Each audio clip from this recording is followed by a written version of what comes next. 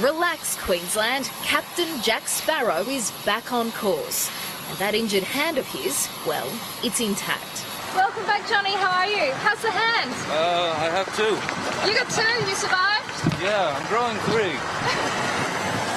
Missing in action for more than a month after returning to the United States to have surgery, Johnny Depp flew into Brisbane this morning on a private jet with wife Amber Heard by his side.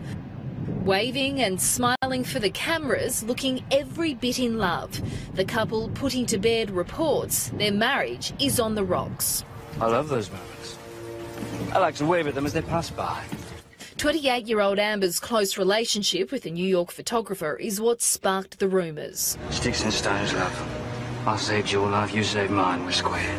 Pirates of the Caribbean 5 resumed filming today in the Gold Coast hinterland. Despite Depp's month long absence, producers assure they're still on track for its July 2017 release.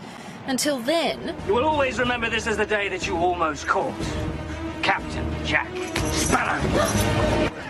or the day one reporter caught up with a Hollywood star.